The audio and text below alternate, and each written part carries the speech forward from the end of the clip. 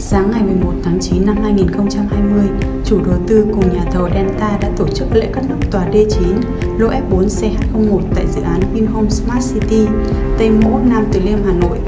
Nhà thầu Delta thực hiện thi công hạng mục móng, hầm và thân thô hoàn thiện tòa D9 lô F4 CH01.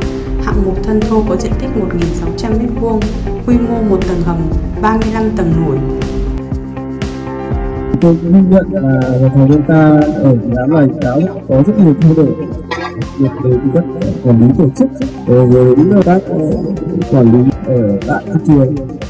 Đặc biệt là và thể hiện hình ảnh ờ, triển khai và, và cam kết chất lượng là tốt nhất. Thì đây cũng là một sự nỗ lực rất lớn của anh em trong ban Delta Mặc dù quá trình thi công trong thời gian dịch bệnh Covid kéo dài, Ban chỉ huy cùng tập thể cán bộ công trường luôn cố gắng nỗ lực hoàn thành đúng mục tiêu đề ra và vượt tiến độ đã ký với chủ đầu tư 9 ngày.